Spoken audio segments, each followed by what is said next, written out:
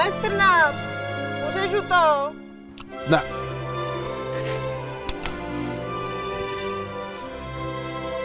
A teď? Teď jo. Nože od masoprofitu, ať si neuříznete ostudu. Tak přátelé, je to neuvěřitelné, ale jsme tady opět. Opět s nejlepším podcastem, opět budeme mít nejlepší témata a dneska určitě máme ty nejlepší hosty. Já rovnou začnu po mé levici, motoristický novinář a chodící encyklopedie motoristiky Martin Vaculík. Ahoj Martine. Ahoj, dobrý večer. Vedle něj člověk, kterého asi nemusím představovat, uh, motoristický fanatik, prezident Jaguar klubu a prezident všeho míra a prostě Filip Turek. Ahoj Filipe. Ahoj, dobrý večer.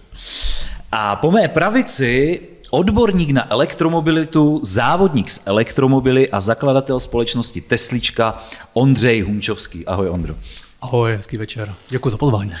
Tak přátelé, vy se ptejte, je to o vašich dotazech. Dnes král četu získá tady vynikající sekáček od Masoprofit a tady je překvapení, které odtajníme zhruba za 40 minut. Takže můžete, budete velmi překvapení, doufám, co se tam dneska na vás skrývá. Tak, přátelé, Pojďme rovnou na to, já se dnes na to extrémně těším, takže začnu otázkou pro všechny společnou. Čím jste přijeli?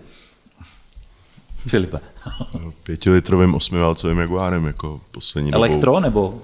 Úplně ne, ne. je tam taky plno, plno elektriky. Já jsem se že, tu, že to překvapení, že tu sandovskou čepici budeš mít na klíně. Tak... ne, na klíně tam je něco jiného. Ne, dobře. Takže překvapení bude v pohodě. Mm-hmm. Dobře, takže? Já jsem přijel autem, které tento týden testuju, protože o něm zítra natáčím. A tentokrát je to elektrický Hyundai Kona. Mm-hmm.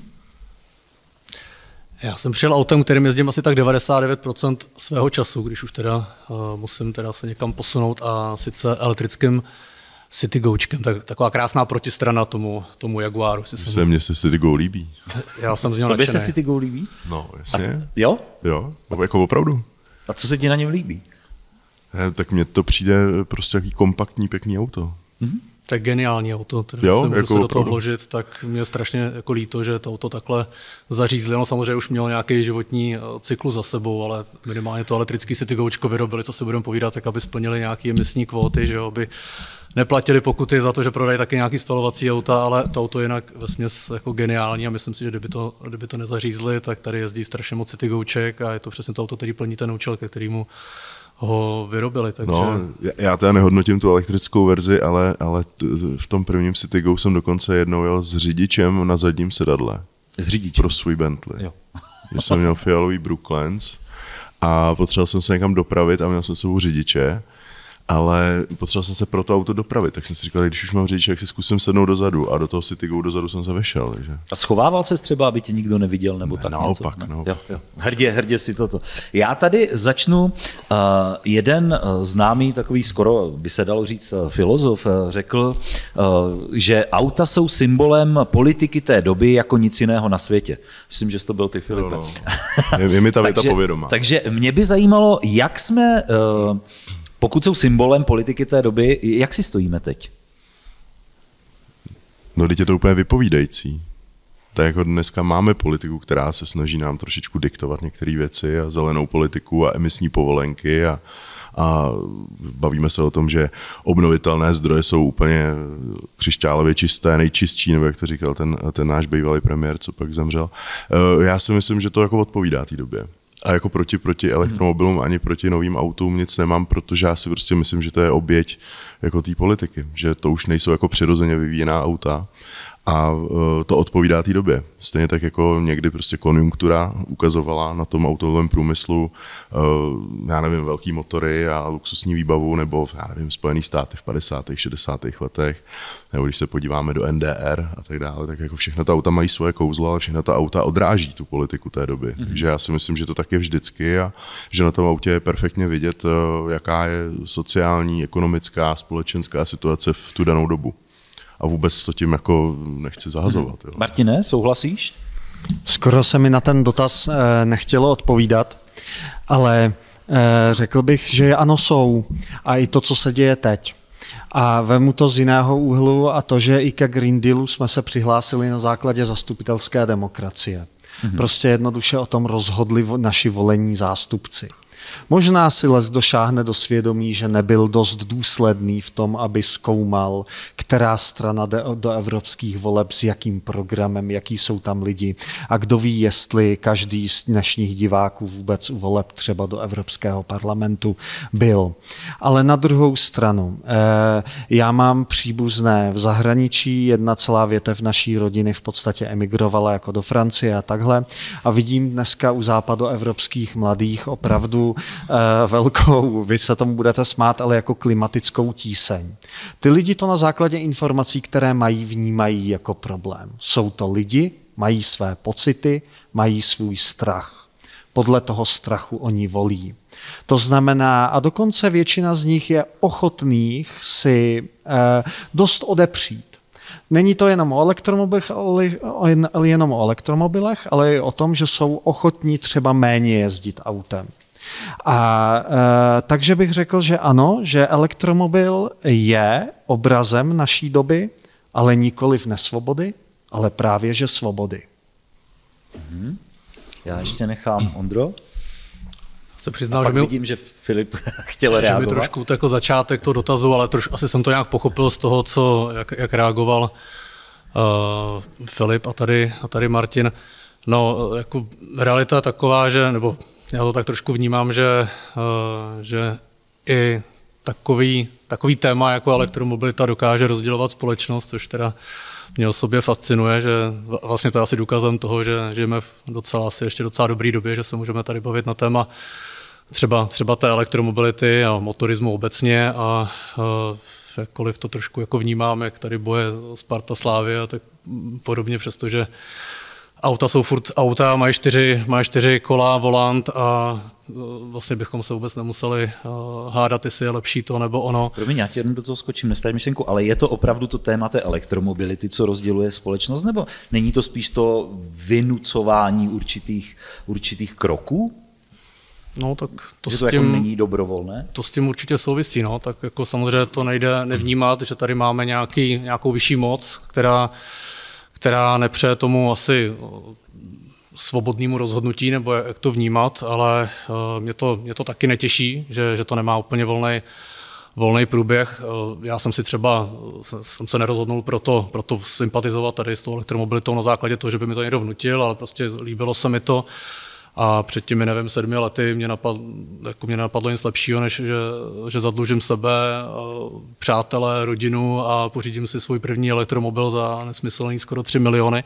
A považoval jsem to za docela dobrou, i teď s, s tím ohledem za dobrou investici, přestože teď se podívám, nebo jako asi, asi by se to dalo eh, pragmaticky vnímat jako dost nesmyslnou investici, ale rozšířil nějaké obzory a určitě to nebylo na základě toho, že mi to někdo vnutil, ale nelze, nelze to jako nevnímat právě z tohle pohledu, že, eh, že prostě je, to, je, to, je nám to nějakým způsobem trošku vnucovaný, hrozně mě to mrzí, že pak vůbec tady musíme mluvit eh, nebo diskutovat na téma, jestli opravdu je to to, co chceme, anebo to, co nám tady vnucují někde nějací úředníci v Bruselu. No. Mm-hmm. Filipe, jak vnímáš investici do auta a to, co tady zaznělo? Ne, ne, ne. Ta, eh, já trošičku úplně nemůžu souhlasit s tím, že jsme si to vybrali, protože eh, v rámci Lisabonské smlouvy a v rámci toho, že třeba Evropský parlament není zákonodárný, ale Evropská komise vymýšlí ty věci a pak jsou pouze schvalovány, tak se úplně nedá říct, eh, že by to bylo demokratický na základě nějakých voleb, ale to je spíš jako politologická diskuze a nevím, jestli, jestli to tady chceme, jestli to tady chceme rozvíjet. Každopádně no, si ani nemyslím, že, že Lisabonskou smlouvu, kterou byl nucen podepsat Václav Klaus, s kterým jsem teda teď byl na té večeři, eh, že, že, jako, jako, že byl jako zvolen eh, jako někdo, kdo prostě to má udělat. Jo? To prostě bylo za nějakých určitých okolností a eh, prostě říkám, že prostě Evropský parlament není zákonodárný, on ty zákony a předpisy nevymýšlí, on je pouze schvaluje. A ta komise je potom samozřejmě volena, takže ten systém je velmi zkostnatělý a velmi působí to trošičku jako politbyro. Takže já souhlasím, že Green Deal je, eh, jako ta myšlenka byla hezká, mysleli to dobře, dopadlo to jako vždycky. Eh, je tam jako plno, plno velmi pozitivních bodů, které na papíře vypadají dobře, ale co se týče, pokud to ta zúžím na elektromobilitu a nebudeme se bavit úplně o kompletním Green Dealu, kde já souhlasím s tím, že je dobrý mít eh, čistý potůčky a řečiště a vracet já nevím, původní druhy, tam, kam patří a tak dále, tak pokud se podívám na energetickou stránku Green Deal, tak jeho součástí bylo vypnout jaderné elektrárny, což už samozřejmě se od toho odstoupilo a postupně se to mění, protože samozřejmě ten Green Deal byl navržen velmi, velmi naivně. Co se týče elektromobility, tak já prostě za prvé nevěřím, že je tak ekologická a čistá, jak se tvrdí. Jo? A neříkám to proto, že bych byl zastánce těch osmi válců, mně se elektromobily líbí taky, a nemám s nima problém, ale mě vadí to, že jsou dotovány a že jsou financovány a celkově mi vadí dotační systém a systém dotačních uh, emisních povolenek.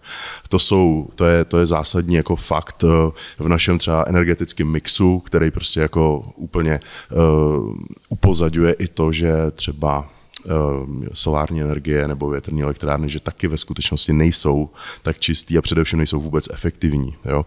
Takže to si myslím, že jsou všechno jako nějaký momenty Green Deal, které jako můžou na oko někoho vytahovat z té z tísně, jak, jak se jmenuje ta klimatická té klimatické tísně a úzkosti, kterou já cítím jako v podstatě jako bez srandy svým způsobem taky, jo?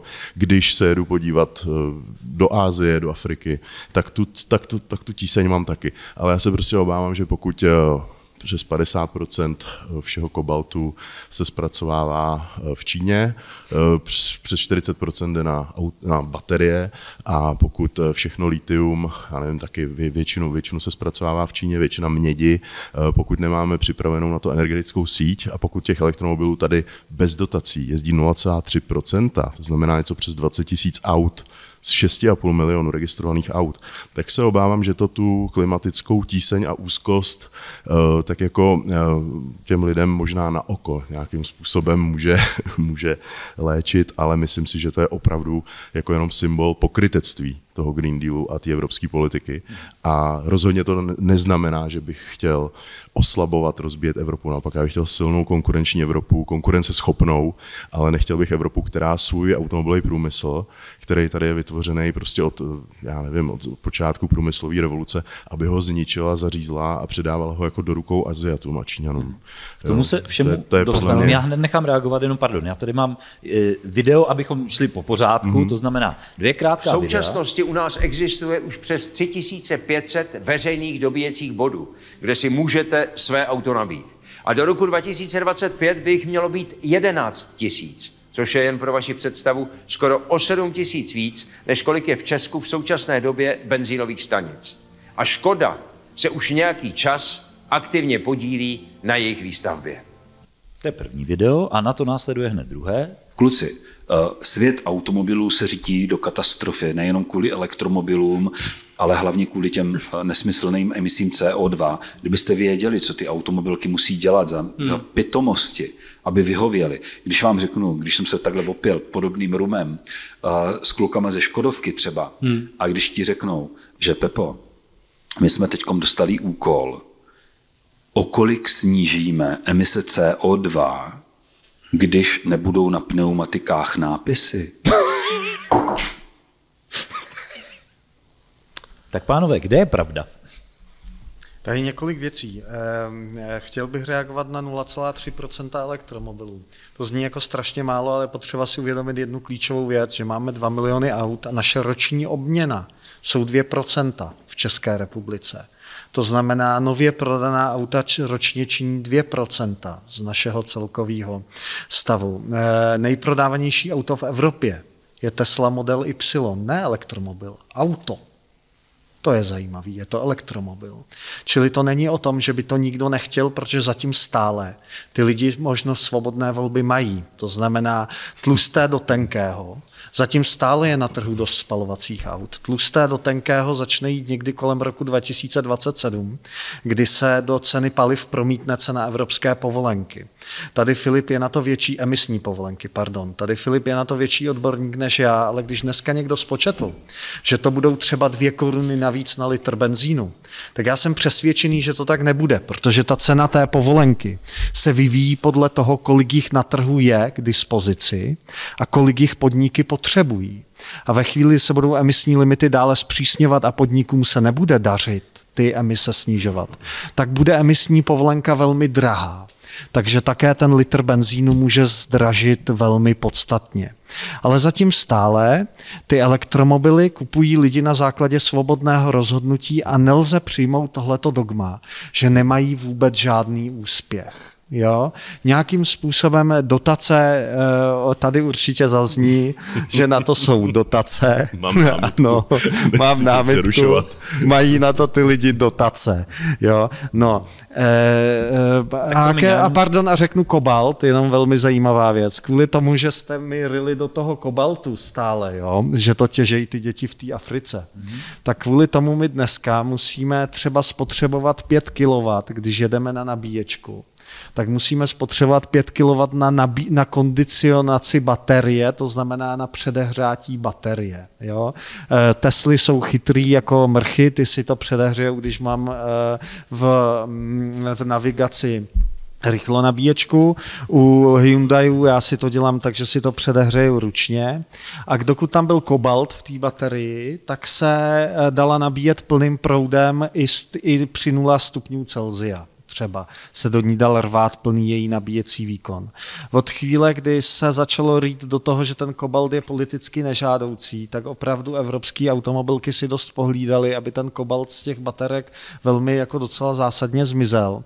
A tudíž se dokonce akceptovalo poměrně zásadní uživatelské zhoršení parametrů těch baterií. Pardon, ale ty to děti jsou, to těžily. To jsou tak. Uh, já nechám to, pak nechám. Já je neviděl, nejsem ten, kdo tohle bude mentorovat, jo, ale je to jasné, že s kobaltem je nějaký nějaký politický problém, že, etický, že eti, etický, etický problém, ale i s litiem a i s mědí a s, vlastně se všema těma věcmi okolo, ale to se dá říct, že i s tím těžením uh, těch, těch fosilních paliv, akorát, že tam uh, to je v našich rukou a nikoli v ruských, čínských a rukou, které teď jako drancují Afriku, ale to je zase nějaká technika, ale já bych jenom připomněl, u těch emisních povolenek bych řekl jenom takovou zajímavost, že máš absolutně s tou souhlasím, že ten benzín bude mnohem dražší, že to je přesně nástroj, další nástroj, jak násilně, nenápadně dostat lidi Eh, do jiných než aut se spalovacím motorem a eh, už dnes kolem 50% emisních povolenek a to jako opravdu jsou jako věci, které znám jako od lidí, kteří se pohybují v energetice. Eh, od kolem 50% jsou v podstatě investiční komodita, s kterou obchodují Číňani. 50% emisních povolenek v Evropské unii je komodita, s kterou obchodují Číňani na burze jestli to někomu nedochází, co je to za prů, průšvih, tak, eh, tak to je jako jeden moment. Potom, že ta auta mají úspěch, aniž by eh, je někdo nutil prodávat lidem. Tak u nás je to 0,3%, něco přes 20 tisíc aut, což já teda považuji za všechny ty milovníky technologií, za, za, za lidi, co prostě baví. Eh, ta akcelerace, to, to, mě to taky baví samozřejmě. Um, to je jasný, teď se to prostě všichni koupili, proto teď ty prodeje klesají, protože ti, co to chtěli, tak už si to koupili a některá čísla ukazují, že jako po druhé už si jako mnoho lidí ten elektromobil kvůli ne, určité nepraktičnosti, která se samozřejmě dá jako mnoha věcmi jako uh, doladit, tak uh, si prostě nekupují znovu. Ale chtěl bych říct, že ta auta jsou extrémně prodávaná v zemích, kde třeba ani nemusí být tak moc zvýhodněn ten elektromobil, ale je totálně šikanován kdokoliv, kdo si kupuje normální auto. Ve Skandinávii to víš, jaký jsou tam daně. Když si jdeš pro techničák, tak zaplatíš až jednonásobek hodnoty toho auta. Eh, v Rakousku ta daň se jmenuje Nova, Nova. až 20%. Když si, jo, prostě, ale pokud máš elektromobil, tak se tě to netýká, tak seš, tak máš svatozář, takže logicky samozřejmě si tam ty lidi ty elektromobily kupují. Jo, měli, ale, byste ale... Zažít, měli byste zažít Čínu, která už léta má takové to, že v těch velkých čínských městech tak eh, potřebují už léta regulovat množství aut. Že jo? Tak zavedli velmi chytrou věc losování SPZ, to znamená, že člověk si koupí třeba nové Bentley a rok čeká, než vylosujou mu tu SPZ. Ten, kdo si koupí v komunistické zemi nové Bentley, tak podle mě si to nějak dokáže zařídit, ale normální člověk čeká. Tam preferuji hongkongský model, že máš i čínskou, i hongkongskou SPZ. Jasně, jasně, slyšel jsem Já někde. Já jsem jezdil s Bentley. Ano, jasně, jasně. No a, a když si člověk koupí elektromobil, tak má tu SPZ hned. Jo, takže tam už léta tu elektromobilitu tlačí ještě způsobem, o kterém se nám v Evropě nezdá. K tomu tlačení elektromobility, ono bez nějakého legi, legislativního tlaku by se ty zrozjeté vlaky nikdy neotočily prostě jednoduše automobilkama. Ty chceš otáčet, opravdu? Neměl by se to stát přirozenou cestou? Přirozenou cestou by se ty vlaky neotočily nikdy a jelo by to stále v těch svých zaběhlých kolejích, který by nebrali na žádné environmentální hlediska ohledy. Myslím si, že elektromobil je cesta ke snížení emisí CO2 a to eh, z několika pohledů. Často třeba vidím jako zesměšňující klip k elektromobilu, že někdo ukazuje nabíjecí stanici, která má dýzlový generátor. Zajímavá věc je ta, že i tak ten elektromobil bude účinnější. To znamená takový dýzlový generátor, který běží stále v otáčkách své nejvyšší účinnosti, tak eh, je i poté, co tu elektřinu musíme nabít do baterky s nějakou účinností, tak stejně to vychází líp, než když eh, jedeme se spalovacím autem v režimech nízké zátěže. Eh, mě zejména vlastně, já jsem začal jezdit elektromobilama, já jsem měl nějaký moment, pro mě důležitý bylo, když Rusko zautočilo na Ukrajinu a já jsem si řekl, že režim, který se je schopný svých zájmu dožadovat tímto způsobem už jako podporovat nechci, přestože jsem se předtím let, kdy na nich snažil hledat i dobré věci. To byl moment jako politický, ale pak mám silný moment ten, že mě strašně je velmi hustá doprava, je velmi hustý provoz. Já jsem od Berouna bohužel často musím jezdit do Prahy a začalo mi přicházet jako uh, nesmyslné ohřívání vzduchu, prdlat třeba silným benzínovým autem na ten volnoběh tu chvíli ten motor pracuje příšerně neefektivně. My máme dneska velmi účinné motory, které mohou pracovat opravdu s velmi vysokou účinností, ale musíme běžet někde ideálně třeba 2400 otáček 60% točivého momentu. Taková třeba Atkinsonovská Toyota určená pro hybrid pak má účinnost benzínový motor i 43%, naprosto nevýdaných. Jo? A výhoda toho elektromotoru je, že má tu obrovskou účinnost ve velmi širokém pásmu otáček, tak prostě je to způsob, který šetří energii v každém případě i když ji vyrábíme špatně a neefektivně, třeba i když ji vyrábíme se značnou produkcí emisí CO2. Na to, že v tom produkčním řetězci elektromobilu víc těch emisí CO2 vzniká, tak ano, byly studie, které ukazovaly, že, ten, že to je o tolik víc, že ten elektromobil pak to v našem energetickém mixu začne šetřit až kolem 200 tisíc najetých kilometrů. Postupně nicméně se daří automobilkám tyhle ty studie rozporovat tím, že prokazují různé nákupy těch elektřin takzvaně z těch zelených zdrojů. Jaký je to energetický, jak je to, jak by se nám smáli energetici za tohleto tvrzení, že, že já nakupuju zrovna tu zelenou energii a ty ne, tak je věc jako druhá. Ale na druhou stranu vzniká tím poptávka po energii z obnovitelného zdroje a vzniká tím situace, že se vyplácejí i ty obnovitelné zdroje které by se dřív nevyplatily. Čili pro mě je elektromobil není cesta jako rychlá. To, jak jste tady pouštili toho, eh, toho skvělého eh, Vetchého, jmenuje se Ondřej Vetký mm-hmm, herec, eh, to na mě ten klip zapůsobil. Já jsem přesně ten emoční, skoro jako woke liptart, na kterýho tohle to jako působí. On to přednesl s takovou mistrnou naléhavostí a je to opravdu jako velmi dobrý herecký výkon. A já s tím souhlasím. Jsme v nějaké fázi hledání. Zaručený způsob, jak provést dekarbonizaci, nikdy jsme to nedělali. Jak to udělat spravedlivě, jak to udělat tak, aby to nikoho nemrzelo. Takový žádný způsob prostě jako nemáme. Jo? Je hrozný a obrovský úkol vlád, aby se to těch lidí dotklo co nejméně. Aby to prostě uh, Eh, nepostihlo. Já s těma elektromobilama jako, já velmi zároveň cítím prostě ze strachem, nikomu se nesměju. Cítím velmi i s odpůrci elektromobilů a se strachem lidí z neznámého a se strachem lidí, kteří fakt vidí, že nebudou mít kde nabíjet, kteří vědí, že mají své auto 20 leté. Vemte si, že průměrný věk auta v Čechách je 15 let a to včetně 16 nových, dokonce. 16 dokonce, a to včetně nových služebáků v Praze, hmm. kde každý tři roky prostě nafacuje novou oktávku, už ani neví jakou. Jo? A takže průměrné auto v soukromém vlastnictví českého člověka bude s jistotou 20 leté.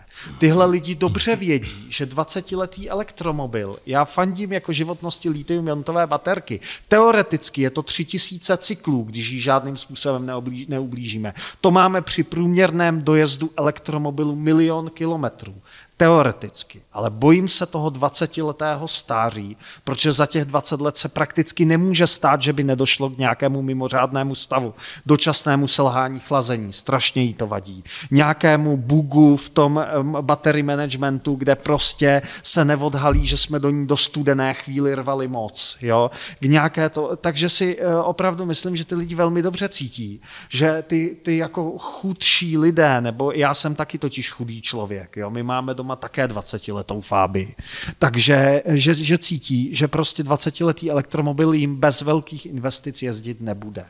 Jo, tak eh, co k tomu říct? Věřme, že naši volení zástupci, kteří teda ty zákony nevymýšlí, ale schvalují, takže naši volení zástupci nám za, zaopatří i takovou prosperitu, aby jsme se bát nemuseli. Hmm. Já jsem ten, kdo není vůbec jako antisystémově naladěný, to znamená, já věřím, že o důležitých věcech rozhodují odborníci. Představte si, jak jsem v dnešní době naivní. Pan Timmermans je podle tebe odborník na elektromobily? Pan eh, Timmermans je dle mého názoru propagátor myšlenky, kterou pro, poté muselo mentorovat a schválit dost lidí. A jako provedení bezemisní energetiky mm-hmm mi také úplně samozřejmě jasné není. Jo? My potřebujeme strašně moc nových věcí k tomu, ano. aby to nějak mohlo fungovat. My musíme umět energii skladovat. To uměli to komunisti, když udělali dlouhé stráně. My potřebujeme regulační, regulační energii. Ano. To znamená, že ke každému tomu větrníku nebo každý té solární elektrárny ty potřebuješ vytvořit jakoby takzvaný jako točivej, točivej nějaký prvek v té energetice. To znamená, že jednou tolik energie musíš vyrábět pomocí plynových turbín. To znamená, opět je to závislost na Rusku, na Číně. Geopoliticky je to extrémní problém. Všichni energetici říkají, že ta síť bude extrémně zatížená, což o to, to mě je úplně jedno. To je nějaká budoucnost, která to ukáže nebo neukáže. Jde o to, že to nemá žádný komerční potenciál tvořit ty, ty dobíjecí stanice. A je mi úplně jedno, že jich je tady mnohem víc než benzínových pump. Ty přijedeš na benzínku a jsi za 10 minut se vším ze zaplacením vyřešený. Co se týče toho dobíjení, na to prostě lidi nemají čas. A trh by si měl sám určit, jestli je to nebo není to správná cesta. Pokud my tady máme 10% HDP z automobilového průmyslu, na Slovensku 15%. A my, když si koupíme dneska BMW, tak má čínskou baterku a čínskou technologii, pokud je to elektromobil. 32% všech eh, elektrobaterií vyrábí Číňani, jenom 8% je mimo Ázii. Je to Jižní, Jižní Korea, je to Japonsko a tak dále. Prostě kompletně my odevzdáme to, co my tady umíme nejlíp, to znamená průmysl, tak to odevzdáme do rukou Aziatu. To je to, co mi vadí. A jestli je to environmentální zátěž nebo není, tak já trvám na tom, že je. Protože uh, to, že to je neekologická ta výroba, Eh, potom ta recyklace toho celého auto, že to auto nemá ten, tu schopnost toho dlouhého cyklu, to jsou všechno jako realistické fakta. Když se podíváme na trh, který by teda, dejme tomu, mohl být jako příkladný, tak jsou to Spojené státy, tak tam těch elektromobilů není 0,3%, ale 0,86%. 40% je kde? V Kalifornii. 40% elektromobilů v České republice je kde? V Praze. Zbytek ve Spojených státech je New York, u nás je to Brno česk, český New York. A prostě chci tím říct, že vnucovat, vnucovat lidem na venkově, na malých městech, lidem, kteří si to nemohou dovolit, něco, co je dneska reálně dvakrát dražší, má to podstatně menší dojezd, je prostě blbost dělat na nějaký systémový bázi. A nemá to nic společného ani s ekologií, ani s tím, že o nás rozhodují nějací jako osvícení odborníci a experti, protože jakýkoliv energetik řekne, že to je nemožný, že prostě i kdyby jsme tady měli ten temelín navíc, tak prostě pokud všichni přijedou v pět hodin z práce a takhle to píchnou do té zásuvky na tom jižním městě, tak prostě tam bude velký problém, protože my tu energii skladovat neumíme. Takže já bych navrhnul, aby všichni, co teda trvají na Green Deal, tak ať ty své elektromobily nabíjí z těch obnovitelných zdrojů. Protože ty větrné elektrárny, solární elektrárny, nedej bože vodní elektrárny, které absolutně jsou jako totální jako zrůdnost neekologická, tak to jsou všechno věci, které jako likvidují přírodu mnohem víc než klidná jaderná elektrárna, kterými si tady díky Green Dealu jsme si v Německu povypínali. Protože přišla ta erudovaná, úžasná, vzdělaná, super chytrá Greta, 20 letá nebo 16-letá s copánkama a řekla jim v Německu, vypněte si jaderný elektrárny, protože Green Deal. A jak jsme dopadli, energetická krize, tady se několikrát jako řešil málem blackout, a prostě my tady, my tady prodáváme do Německa energie a oni nám za to neprodají samozřejmě ruský plyn, jak je jiný, že jo? protože ten ruský plyn odebíráme pořád, akorát ho odebíráme různýma oklikama. A ty plynové elektrárny jsou hmm. potřeba pro tu regulační energii, která je potřeba k těm alternativním zdrojům. Pardon, Takže není to, není to osvobození. Není to osvobození. Já už normálně nevím, na co reagovat. Jsem se asi blbě sednul. Chceš přesadit? Ty seš... jenom, já bych vám jenom to chtěl říct. Já nemám nic proti elektromobilům, nemám nic proti pokroku a nemám nic proti autu, z kterého nepoje žádný smrad. Naopak, mně to přijde super. Ale eh, ta politika zatím, to je jedno ohromné pokrytectví, který je z, nějaký, z nějakého důvodu velmi výhodný pro Čínskou lidovou republiku. A já prostě jsem v Číně byl, možná taky, a tam jsou ty emise i vidět. A jak říkáte vy, environmentalisté, ta, tady ta atmosféra je společná. Takže pokud my budeme podporovat eh, špinavý průmysl v tady těch končinách, tak tím rozhodně nezachraňujeme tady tu přírodu. Na poslední statement můžeš reagovat jsem si, jsem si měl jenom ten notýsek, abych si to všechno poznamenal, aby mě napadlo. Já, taky, já, já, bych už měl 20 stran poznámek, ještě jsem si to nevzal. Jako bylo to, teď jsem to všechno zapomněl. Co jsem... Bylo to strašně moc. No. Já, já strašně nerad skáču někomu do řeči, jo, takže jsem si říkal, nechám, nechám to doplynout tu diskuzi, pak se k tomu nějak vrátíme, ale bylo to hodně, no. jsem mohl a von, Leyen, von Leyenová a Timmermans to myslí s Evropou asi tak dobře, jako to myslela no. Merkelová, když jsem pozvala no. migranty z Afriky. Jo?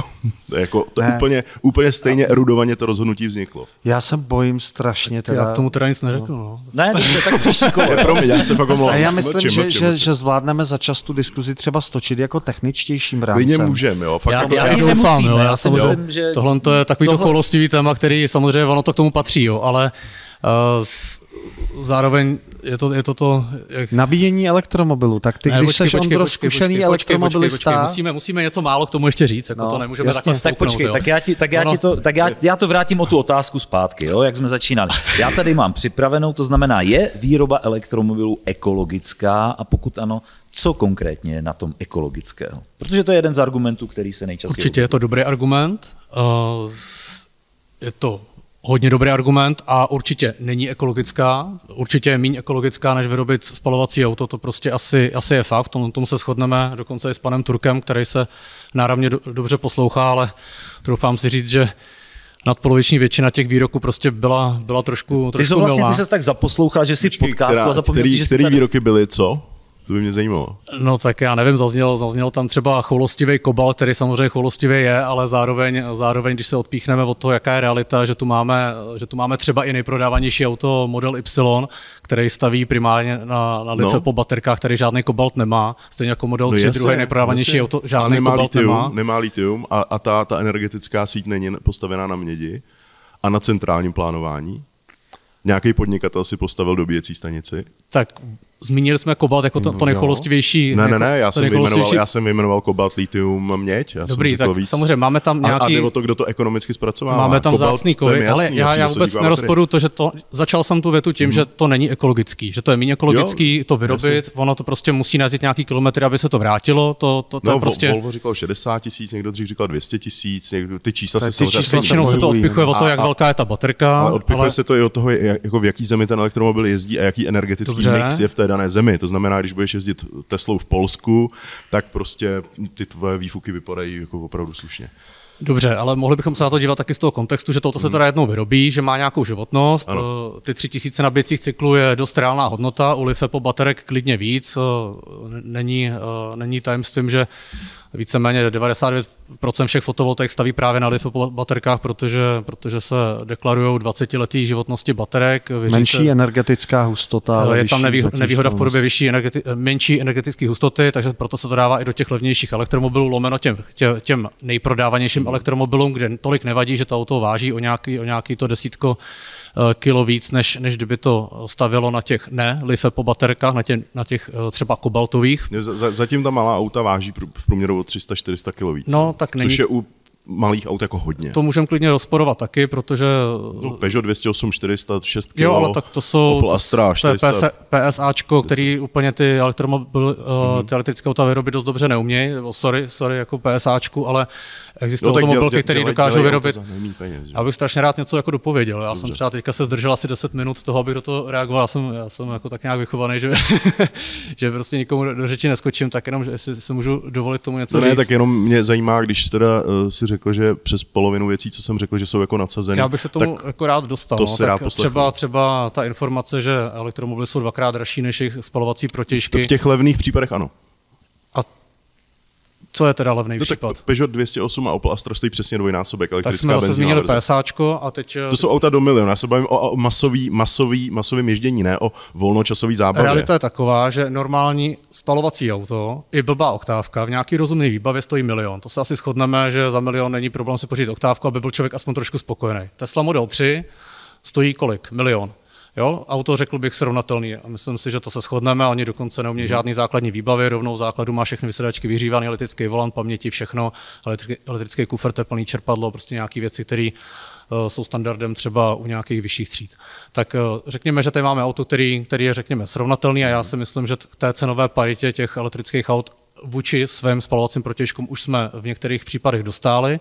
Dokonce jsou případy, kdy elektrické auto vychází i o něco levněji než jeho spalovací protějšek. Ano, bavíme se spíš o těch dražších autech, ale realita je taková, že to, já, já že myslím, to nemáme. Že se bavíme jako... o nějakým, my jsme se bavili o ekologii. Pokud se bavíme o ekologii, tak se bavíme o masovém jevu. A ten se týká aut kolem 500-700 tisíc. Auto za milion už je drahý ale pro obyčejný auto za 500 tisíc je dneska dáče, jo. Ona ta krutá no, realita je taková, jasně. že samozřejmě můžeme za to vinit elektromobily, ne, že to máme. Ne, ne, ne, za to můžeme vinit třeba Euro, Euro 6. Určitě můžeme, já s tím taky nesouhlasím, to taky bylo z jedno témat, eh, to je jedno z mála, se kterým třeba souhlasím, že nějaká tady sedmička prostě je paskvil a eh, to, to je pravda i tady, eh, co, co tady vyšknul Pepa Vrtal, já jakkoliv s ním v 90% případů nesouhlasím, tak souhlasím s tím, že Euro 7 jako, nebo prostě tam ty šílené euronormy, které ve výsledku nejdou ani snad splnit, i kdyby si na to najali třikrát větší tým odborníků a techniků, tak prostě tohle to je, to je podpásovka těm těm automobilkám, ale eh, to je, to je prostě to je téma, který, já nevím, no, jako klidně, já, máš si myslím, já, si myslím, já si myslím, no. že ty eura, euro 6, euro 5, že to dávalo vždycky smysl. Tam byl problém, že to nebylo dlouho dopředu konzultováno s těmi automobilkami, že těm automobilkům, automobilkám se hází klacky pod nohy, že nemají metodiku k tomu, jak třeba měřit eh, ten otěr testiček a pneumatik. Určitě ten vývoj je, ty eura měly nějaký svůj smysl, určitě do pětky měly smysl, možná do šestky, ale mělo by se s tím eh, automobilovým průmyslem v Evropě zacházet prostě velmi šetrně. Já jo. nemám vůbec problém s pokrokem, s ekologií, ale mám problém s tím, když se zachází s tím automobilka tam má tak nešetrně, že oni nejsou schopni se připravit na tu normu dostatečně dopředu. A to jsou, to mi řekli lidi ze Škodovky jako konstruktéři a vedení Škodovky. S tím souhlasím, jo. A, ale na druhou stranu nějaká regulace potřeba je, to jako zase... Bez, musí... de, bez debatek, ta, ta regulace tady existuje dlouhodobě, že jo. Jako. Určitě, jako kdyby tady vládla úplná anarchie, nevím, spalovali bychom všichni tady, já nevím co, uhelný brikerty, tak se všichni udusíme. A při, přitom bychom byli možná šťastní, že, že můžeme rozhodnout o tom, co my sami víme nejlíp, že co pro nás nejlepší, ale zkrátka občas nějaká vyšší moc tady asi nad náma musí být. Není to téma, který jako, já, já bych se tomu chtěl vůbec jako tady eh, zmiňovat, jo, takže ale hold, hmm. teda jsme začali tím, tím, tím, tím tématem. Hmm. Ale obecně pikantní se vůbec bavit o, o, tý, o tomhle tématu té elektromobility tady v České republice, kde zápasíme se Slovenskem o post nejméně sympatizující eh, země vůči elektromobilitě, což právě se odpichuje eh, od těch 0,3%, který tady již byly zmíněny. A v momentě, kdy stačí, stačí se podívat pár desítek, nebo když ne desítek, tak stovek kilometrů eh, k sousedům a no, zjistíme, že, ten, ale že ta v tom Německu jiná. těch aut taky není poměrově zase až tak moc, jo. Ale tam, tam teda příspěvek byl, já nevím, 6-9 tisíc euro, že no, teď je to, příspěvek. No, teď je to, je to něco méně, ale jsou státy, kde ty příspěvky jsou téměř jako nulový nebo jsou úplně nulový. Já myslím, že Švédsko třeba před rokem taky zrušilo dotace a, a jsou někdy každý třetí v nově prodaný auto elektrický. Hmm a ta, ta realita je taková, že, že, že si myslím, nebo nemůžu, nemůžu jako vyřknout, co je, co je realita, že je to furt můj hmm. jako nějakým způsobem zkreslený názor. Nikdo nejsme objektivní, zvlášť prostě máme nějaké náklonosti k té k jedné Já nebo se snažím být objektivní ale... na základě těch energetických mixů a těch prodejů. Dobře. Já říkám, proti elektromobilu v hlavním městě nic nemám, jo, ale spíš mi přijde nelogický, že, že by někdo jako na to dává výhody nebo dotace a teď se má dávat firmám jako ale, velká dotace. Zase no, ona to zase taková no. super dotace není, když je to záruka, že jo, nějaká no, bankovní. Ještě, ještě je to takováhle svinárna v fuzovkách. Ještě to vlastně není jako přímá dotace, ale je to vlastně... Není to úplně šťastný. No. Uh, nicméně, nevím, jestli úplně rozhodne o tom, jestli si koupíš letecký auto nebo nekoupíš to, jestli máš, jestli dostaneš 5000 hmm. euro dotaci na auto, který stojí od 50 tisíc euro výš. Jako... Pokud můžeš do, do nějakých měst s tím vět a s normálním autem ne, pokud, pokud na to normální auto ještě k tomu máš uvolený daně, což v těch ostatních zemí je, tak, tak uh, už to docela rozhodne. Tam už to potom dává smysl. Jo, to jako já si opravdu myslím, že to není jako spravedlivý rovný boj jo, na tom trhu. Že ten volný trh tady neexistuje. Já jsem jeho příznivce, vy dva ne, tak prostě každý může mít já jiný názor. Já nejsem příznivcem dotací, to už jsem říkal vlastně na začátku. Hmm. Mě to hrozně mrzí, že vlastně vůbec tady musíme o tomhle tématu mluvit. Já jsem, jsem přesvědčený, že bez těch dotací Já bych si to koupil. Já bych si Hondu E koupil, kdyby nebyly žádný. Kdyby, kdyby mi nevadila ta politika, která je zatím, ta pokrytecká politika, který já prostě nevěřím. Teď ti přestali toho... vyrábět. Než přestali to vyrábět, je to strašná hmm. škoda, protože Honda E, myslím to si, že je jedno z těch povedenějších aut, ale bohužel auto z minima... Ty, ty, ty, si vybavíš Buick Riviera, eh, pardon, Buick Park Avenue z 90. let. Jo. Mě ten interiér evokuje prostě tohle auto. Hmm. Přátelé, to začnete vzpomínat. Ale já mám, já vám, ne, promiň, promiň, já, já mám moc věcí, které k tomu taky musím ještě říct. Já vím a nezapomeň to, ale nám se tady množí spousta dotazů. A pokud tady nechcete sedět do zítřka, tak já je musím začít odbavovat no, nechceme, já, musím, já budu opravdu muset jako brzy. brzy. Ale, uh... Tak pardon, já, já teda hmm. s dovolením přečtu první set dotazů. Uh, Arv Service Pohořelice, zdravíme. Krásné svátky vám přeji, po dlouhé době jsem vás stihl. Budu vás poslouchat klasicky při práci, to je náš dvorní fanoušek, hlavně Filipa. Že? Uh, Michal Nestrojil za 100 korun, děkujeme. Dobrý večer, chtěl bych pochválit Filipa Turka za jeho vystoupení v TV Nova. Bylo krásné, hranaté vystoupení, dal jste to oponentovi pěkně sežrat. Nějaký koment k tomu? Uh, nevím, no tak uh, on byl osobní, já jsem se snažil, ne, já jsem nebyl osobní, já jsem se nemusel snažit, já takhle ne, nejednám, tak takže asi uvidíme, jestli to obrázek. dneska třeba přebijem. uh, Hovisko za 129 korun. Dobrý večer, dejte like a odběr, děkujeme. Dominik Slávik uh, za 49 korun, zdravíme Dominiku. Škodovka na příjmu, díky, že Filip šíří osvětu. Uh, Evžen Kis, zdravíme Evžene za 500 korun. Přeji pěkný večer. Rád bych sklonil poklonu pánům za znalosti a Martina Vaculíka chválím taky za super vtipná a poučná videa. Rád bych se zeptal na názor na čínská elektroauta. Poslední video na kanále Elektrodet mi nahání mráz po zádech. Jiná liga. Tak možná tady, eh, jestli na tohle odpovíš a případně tam Přesně. nechám reagovat na to, co jsi chtěl. Na to odpovím vším, co jsem chtěl říct, to zatím, přesně. Ano, eh, k eh, energetice. Eh, ono u těch obnovitelných zdrojů větrníku to není tak, že bychom museli mít na každý větrník stejný instalovaný výkon v té elektrárně stabilní. Ono je ne, to, ne, regulační výkon. Ono je to tak, že my potřebujeme ten, my potřebujeme ten výkon do sítě, to stále musí být ta síť vyvážená, to znamená stále hmm. ta síť musí odebrat to, co vyrobíme větrník Větrník má tu výhodu, že se dá velmi dobře a rychle zastavit.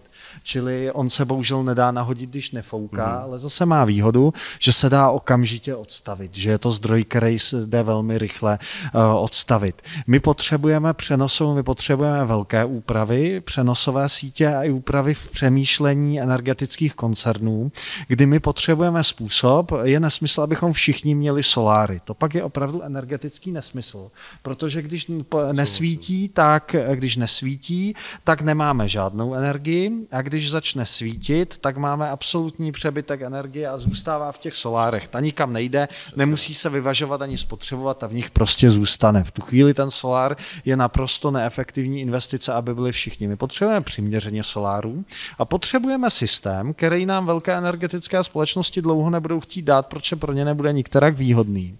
Aby prostě chudá babička mohla levně pro svůj boiler nakoupit elektřinu elektřinu ve chvíli, kdy svítí a podnikatel s Teslou a solárama není doma nemá soláry doma, ale Teslu hmm. zrovna nemá doma.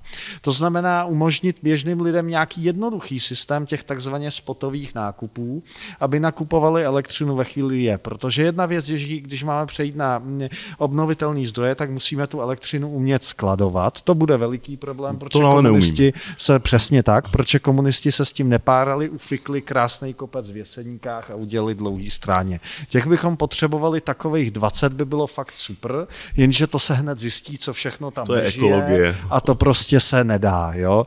Takže um, jsou jiné metody. Já jsem velký fanda jako mechanického skladování mm-hmm, energie, to znamená mm-hmm. využívat důlní prostory ke gravitačním závažím a takhle. To znamená, na skladování energie musíme dělat úplně stejně, jako musíme dělat, jako děláme na těch elektromobilech. To je potřeba říct, že se musí prostě v tomhle smyslu dělat na všem a pak na tom umět přesouvat spotřebu. To znamená, skutečně velmi často odpůrci elektromobility zmiňují to, že se teda přijede v pět na ten jižák a tam se začne všichni nabíjet. Tak to být nesmí a tak to nebude. Ta budoucnost musí být taková, že já jedu někam na jednání a tam sakra, když se chtějí chlubit, jak jsou zodpovědná firma, pro mě musí mít připravený, když k ním jedu na pozvání. Aspoň to pomalý nabíjení, abych si tam nasosal přes ten den, aby jsme tu spotřebu těch elektromobilů rozkládali co nejpravidelněji do dne a připojíme pak ty auta na celou noc a nebudeme mít garantovaný, že se nám budou nabíjet celou noc v té chytré síti. Budou se nám nabíjet tu chvilku, kdy mhm. tam ta elektřina bude, podle toho, jak moc jsme zaplatili. A dokonce v některých situacích v tom protokolu Car to Grid my z toho svého elektromobilu kousek poskytneme, aby jsme ten elektromobil použili k vykrytí. Ten elektromobil s rekordně velkou baterkou nakupovanou od Číny v obrovském množství s nevýhodou téhle té věci souhlasím a hned se dostaneme k té Číně, tak je zároveň naprosto skvělý ovšem nástroj na skladování energie z obnovitelného zdroje. To znamená, kdo má ty soláry, tak velmi rychle k tomu přijde. A chtěl bych tady říct jednu klíčovou větu, že můj vlastní elektromobil a moje soláry jsou jediná eh, mobilita, kterou mi nikdo nesebere. Když se něco stane, nemusí druhý den být na čerpacích stanicích nafta, benzín. Panika lidí ve chvíli se řekne, že nafta a benzín možná nebudou, způsoby jako matky hysterické dětské vykoupějí algifen nebo dětský nurofen. Že jo? Když se napíše, že možná nebude v lékárnách nurofen, tak každá matka se zdravým dítětem koupí pro jistotu pět nurofenů a pak opravdu nezbyde na tu, která to dítě nemocný má. Jo? Tak stejně tak se zachovají pohonné hmoty a tak, takže vlastní soláry a vlastní elektromobil jsou pro mě určitá jistota v nestálém světě. Ano, jezdit budu podle toho, kolik svítilo, uskromním se. A teď eh, k čínským elektromobilům. Eh, strkání hlavy do oprátky Číně je věc, která je eh, a naprosto dechberoucím způsobem to udělali evropské automobilky. Ono to opravdu vypadalo jako oprátka, bylo to takový prostě lano takhle a ona, oni do toho tu hlavu strčili a ona to byla světediv se oprátka. Oni prostě, když chtěli jít na ten čínský trh, tak čínská vláda velmi dobře naplánovala, že každý, kdo tam chce vyrábět auta, tak to musí být 50 na 50 s nějakou čínskou automobilkou nebo čínskou vládou. Čína se tudíž tudíž zcela zdarma. Naprosto neexistovalo tudíž utajit tam nějaké know-how. Čína se zcela zdarma dostala k tomu, na čem my jsme tady v Evropě dělali dlouhé dekády. Aby auto bylo tiché, aby auto dobře pérovalo, aby auto topilo na nohy. To je mimochodem docela velký problém, proč teplý vzduch stoupá z hůru. Tohle vůbec nebylo zdarma, tohleto poznání v oblasti tepelného komfortu. Jo? Aby auto nerezlo, aby mělo nějakou životnost, to všechno jsme jim dali. Tím oni se vůbec nemuseli zdržovat. A oni velmi dobře rozhodli, že budou, v tý, že budou nejlepší v té elektromobilitě a hold to eh, plánované hospodářství si umělo poradit s tím, aby ty zdroje si zajistilo ještě v době, kdy to nebylo pro nikoho výhodné ani výdělečné. To znamená, jim dneska patří doly po celém světě, jim patří zpracovatelský průmysl v USA dokonce, jo, jim patří všechno, oni si to prostě zajistili. Takže ano, my jsme závislí v tomhle na Číně. No a teď teď mm, Teď eh, ta vlastně jako klíčová, no a ty jejich auta opravdu budou jako eh, jednoznačně dostali od Evropy to know-how, který dělá auto, takže to není špatný už ani jako auto. Není to tak, že by v tom byla dobrá elektrika, auto byl odporný hlučný šuplík, prostě, kterým budou smrdět plasty jako v Korejcích v 90. letech. Není to tak. Jo? Umí vyrobit prostě auto, které je naprosto akceptovatelné. Takže ano, čínská auta budou ten evropský průmysl teď těžce válcovat a mají v rukou jednu úžasnou páku, že rozhodují o cenách těch, těch baterek pro evropské automobilky. To znamená, budou podrážet jejich konkurenceschopnost tím, že jim ty baterky budou prodávat schválně velmi draze evropským automobilkám. V podstatě můžou tím, cituji jejich konkurenceschopnost, naladit přesně tam, kam ji potřebují, protože nám samozřejmě nechtějí dodávat jenom baterku, kde je nejvíc toho materiálu, ale chtějí prodávat znalost. Každá ekonomika, která roste, no. potřebuje prodávat znalost, to znamená celé auto, celý produkt, celé aplikaci pro jeho vzdálenou zprávu a já nevím, co všechno, tak tohle to prostě nám samozřejmě chtějí prodat. Takže ano, čínské elektromobily budou. Čím si na ně, a je to zároveň pro běžného člověka. Běžný člověk na to může mít velmi dvojaký pohled. První je svobodný trh, to znamená, on opravdu dostane to, co nám evropské automobilky odmítly udělat, a to je levný elektromobil. To mi prostě, to, to tady byla diskuse diskuze před chvílí naprosto správná, že nezaznělo, že třeba BMW opravdu má spalovací auta a elektromobily ekonomicky takřka naroveň. To znamená, když nikdy bych si dneska, bohužel omlouvám se fandům, nekoupil eh, eh, eh spalovací sedmičku, protože ta elektrická je úchvatná a když mám 3,2 mega na sedmičku, nebo co 3,2, 4,7 stál ten kousek, ano. co jsem testoval, tak samozřejmě dávno nežiju v paneláku, ale žiju ve vlastním baráku, kde prostě budu mít ty soláry a budu si prostě užívat všechno, co ke komfortnímu životu s elektromobilem patří. Jo? Ale fakt je průšvih, že na trhu nejsou jakoby levné elektromobily, že projekty levných elektromobilů u Volkswagenu se potácejí naprosto zoufale. Volkswagen ID2 for All, možná mě začas někdo srovná, ale zatím mě nikdo nesrovnal. Podle mě ten projekt je jako mimořádně rozhádaný a mimořádně, podle mě se tam žádných 2025 nedodrží start produkce,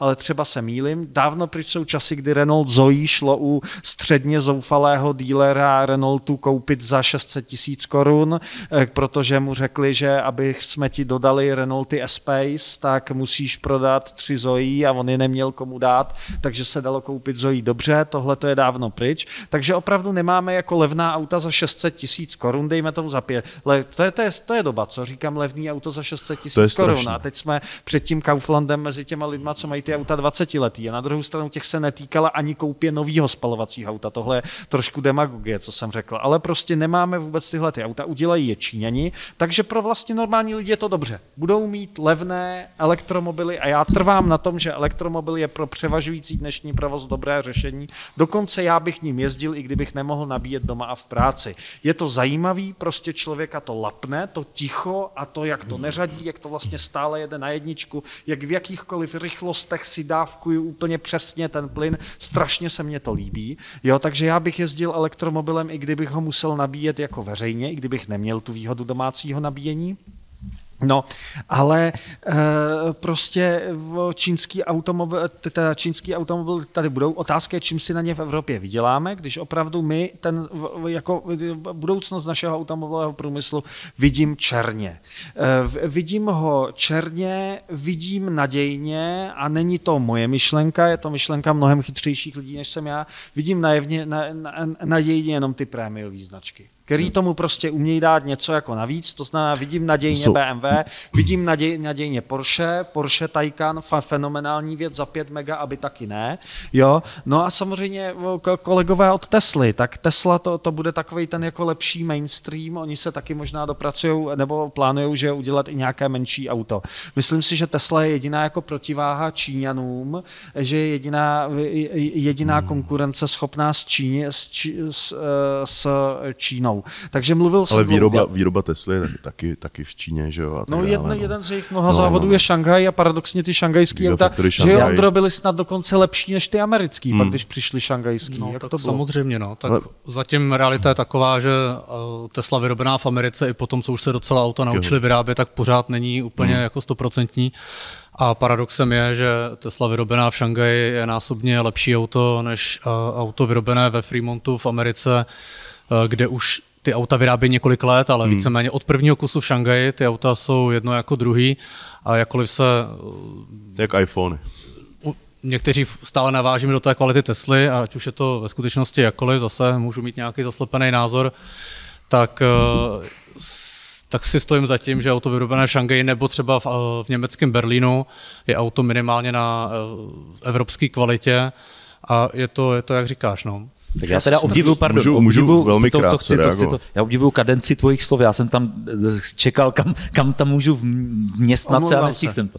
Ne, to je v pořádku. Filipe, ne, já jsem tě chtěl nechat nereagovat. Jenom, co tady jenom zaznělo. krátká věc. Obchodování s vlastní energií na spotovém trhu může i znamenat, že člověk zaplatí v, v negativním momentě za to, že, od, o, že, že odvádí elektřinu. Na to se těším. To je, no, to je velmi zajímavý moment. Až se někomu stane, tak se opravdu vyděsí. Uh, uh, další věc um, ty obnovitelné zdroje, tak uh, větrné elektrárny. Jenom, v, jenom úplně ve zkratce. Uh, ten obrovský magnet, to ložisko, to je celý z materiálu, který se vyrábí pouze v Číně. Uh, Solární elektrárny. Sedm, sedm z deseti společností, které vyrábí solární panely, jsou čínský, zbytek je nějaká Kanada, Čína, Amerika, Čína. Takže opět, jo, obnovitelný zdroje, to je jenom jako podpora čínského biznesu, stejně jako, jako veškerá elektromobilita, baterie a tak dále, a to zpracování. Takže strategicky, jako z geopolitického hlediska pro mě je to hrůza. Pokud se budeme bavit o autech, já absolutně souhlasím i s tím, že to čínský levný auto vlastně bohužel jako může zaplavit ten trh u nás. Toho se jako strašně bojím. A potom tam byl zajímavý, zajímavý můžu, zajímavý, protože z toho řekl hodně, tak um, velmi zajímavý bod a příklad, který dávám taky, je to BMW, který ne, že by ty jejich jako normální auta byly tak drahý. Oni je prostě přirozeně zdražili tak, aby prostě dorovnali tu úroveň těch elektromobilů, mně připadá.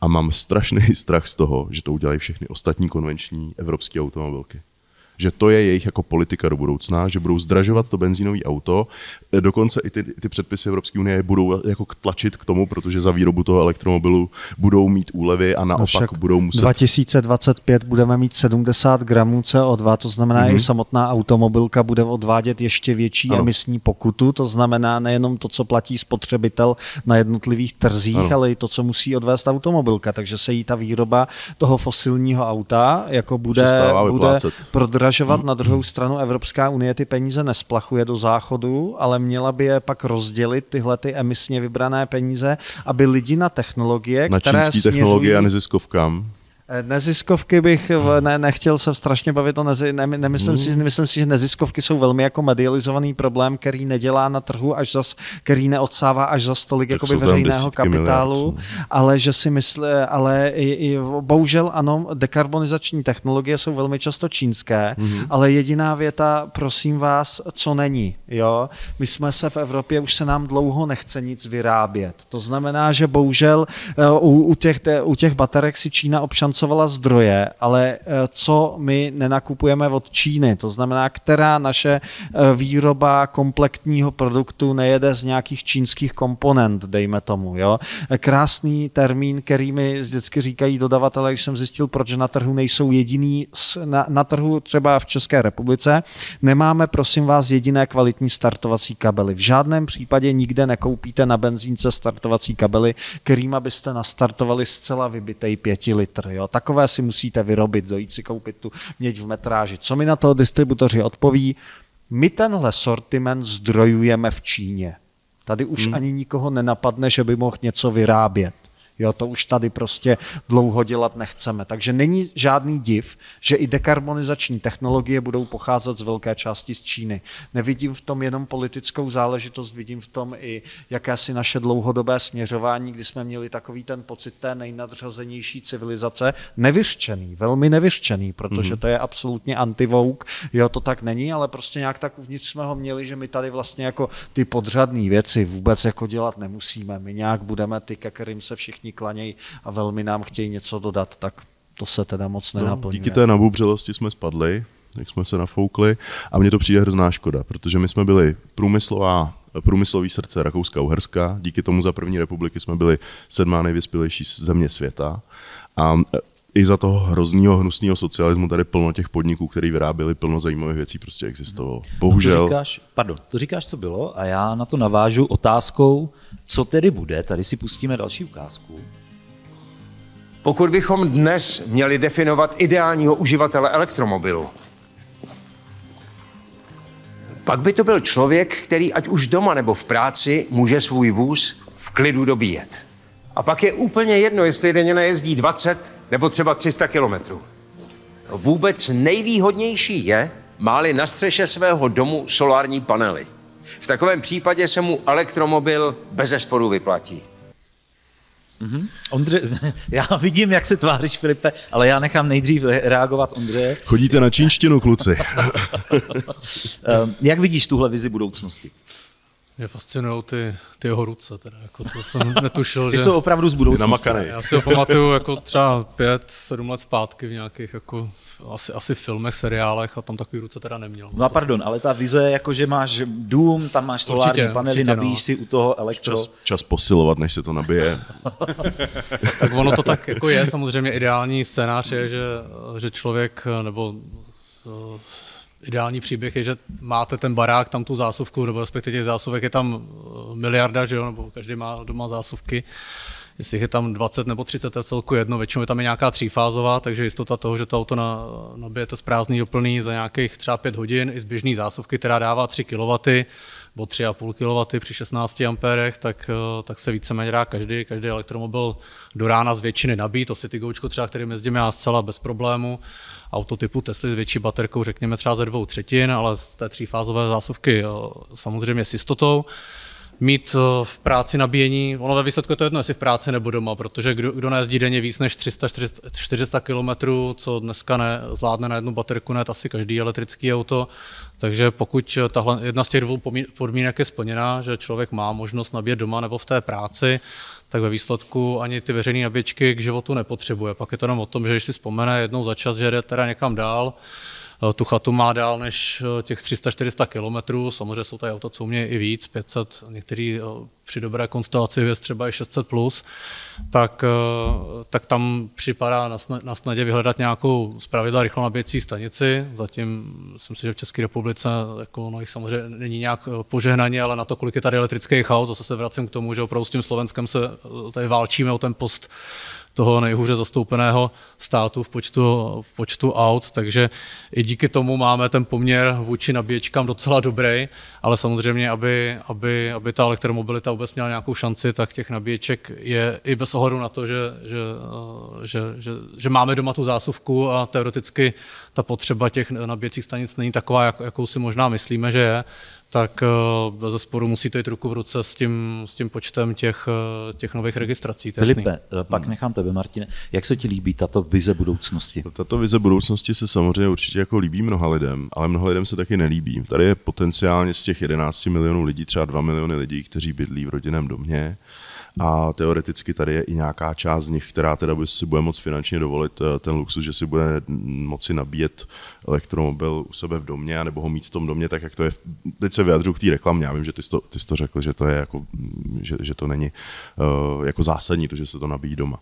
Ale uh, já si prostě myslím, že je tady pořád jako obrovské množství lidí, kteří to, kteří to prostě nechtějí a že tohle je nějaká jako nucená převýchova a prostě já nesouhlasím s tím, že ten environmentální argument je prostě dostatečně silný. Mně, se, mně tohle přijde jako normálně jako, jako bolševická propaganda, to je normálně komunistický uh, filmový týdeník československý televize z 50. let, ani ne ze 70.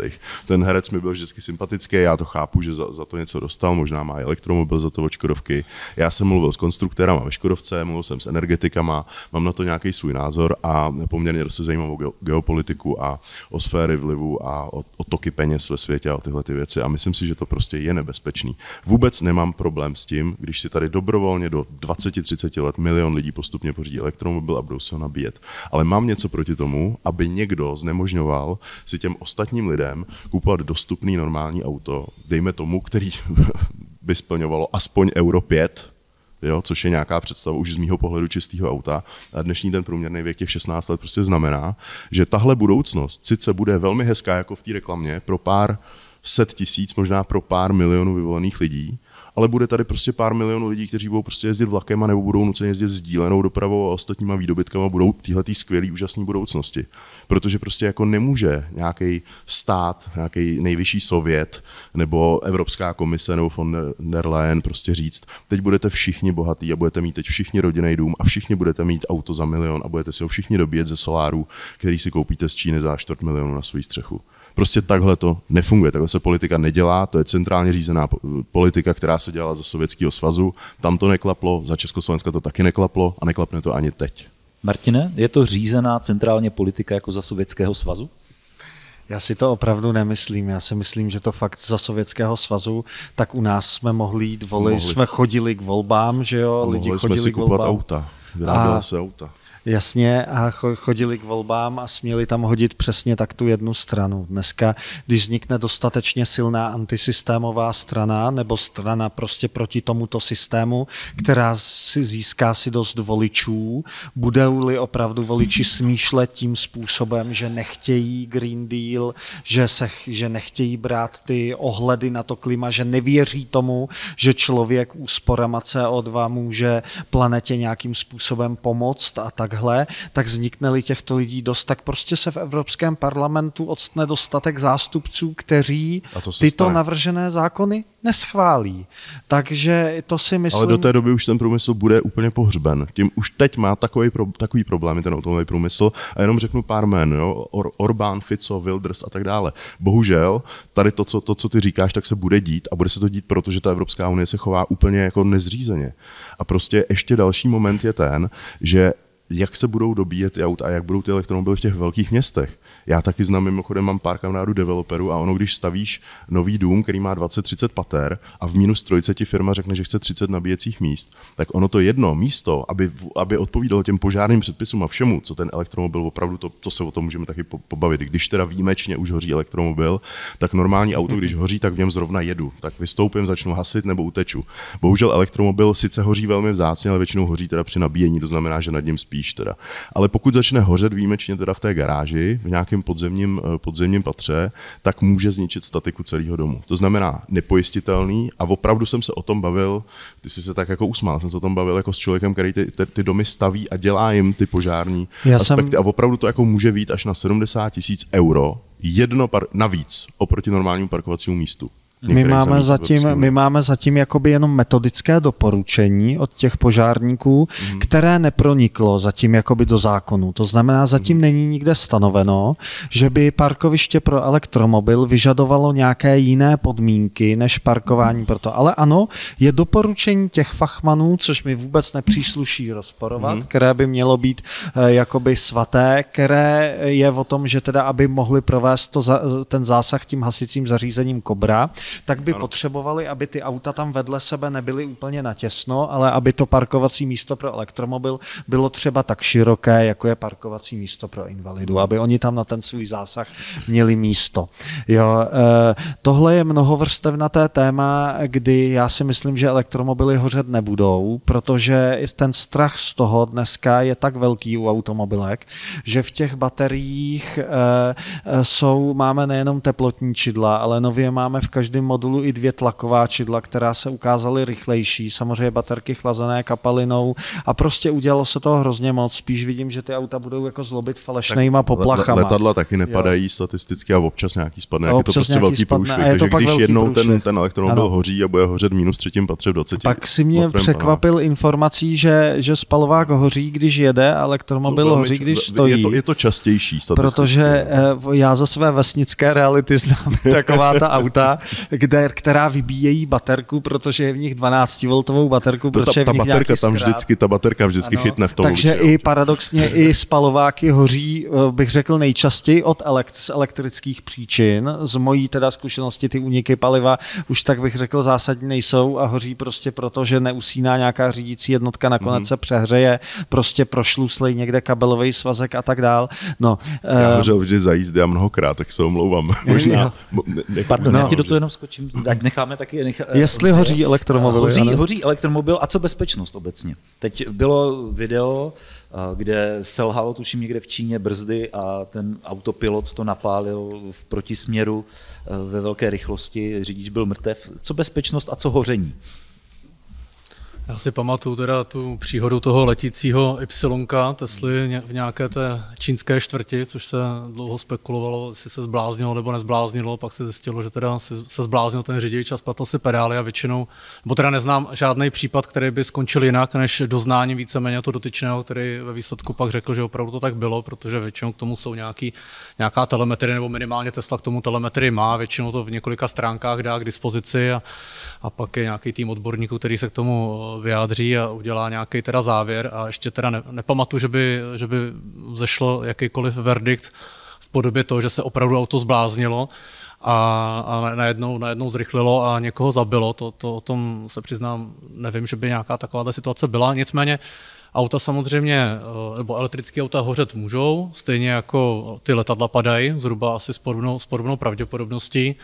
Statisticky jsme někde kolem, podle samozřejmě toho, jaká, jaká je to statistika, jaký je to, jaký je to zdroj, ale podle třeba nějakého Národního úřadu pro bezpečnost silničního provozu v Americe a po, podobným jim, tak je to zhruba 5 až 20 násobně menší pravděpodobnost, že, že zahoří elektrické auto než spalovací auto.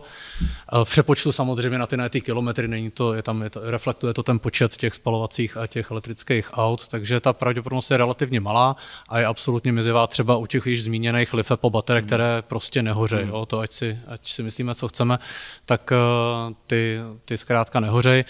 A možná zjistíme, že, tu, že tu jiný než tyhle ty LFP baterky nebudou a možná se tím vůbec trápit nebudeme. Ale já nevím, jestli se máme trápit těma padajícíma letadlama, stejně jako se tady trápíme potenciálně hořícíma elektromobilama. Jako no, no, kdyby se těma padajícíma letadlama lidi jako 50-70 let netrápili, tak by ta letadla padala. To je ten problém. A ten, ten elektromobil tady je od roku 1835 a byl vždycky jako problémový a až posledních, jako dejme tomu od roku 2010, úplně problémový není. Takže asi, no, já si jako myslím, že ten... elektrický auto v roce 1800, nevím kolik si, no, no, si říkal, tak, elektromobil byl možná spolehlivější než... Dnešních 500 km by musel vážit asi 5,5 tuny a vážit asi no 15 ještě, násobek to ještě, ceny to toho, co dneska, to, ještě... to asi prostě argumentovat tím, že, že, že elektromobil neuspěl ne, před 100 lety, jako mi přijde hmm, ne, ne, ne, ne, ale... Já argumentuju tím, že ten elektromobil tady byl o 51 let dřív než auto se spalovacím motorem a jenom těch prvních pár let tím, že měl ten technologický náskok, tak byl pro lidi prostě přirozeně výhodnější. A až potom, co přišly moderní baterie, dejme tomu kolem roku 2010, tak ten elektromobil začal být jako konkurenceschopný mm. do určité únosné míry, že pokud se to zadotuje, tak si to prostě 0,3-0,8% lidí koupí. Dotace, no, jako to se možná a ještě bych, teda, ještě bych teda chtěl říct, že ta auta hoří teda statisticky mnohem méně, protože jsou teda statisticky mnohem novější všechno. Že? Ta, ty elektromobily, samozřejmě až ty baterky, až ty elektromobily budou mít prostě těch svých no, 10-15 let, tak by mě zajímalo, jestli vůbec se ta věc někdy to, jako že to auto je nový, nutně neznamená, že, že z nějaký pohledu bezpečnější, no většinou pokud tam znamená, nějaký problém je. Jako tak... všeobec, všeobecně u jakýkoliv techniky to jako znamená.